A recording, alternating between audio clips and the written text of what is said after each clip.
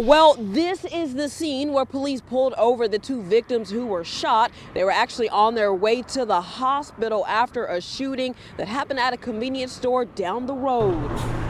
Uh, we do not believe this to be a random act of violence or a robbery, but more a shootout between the victims and the outstanding suspects who were acquainted with each other.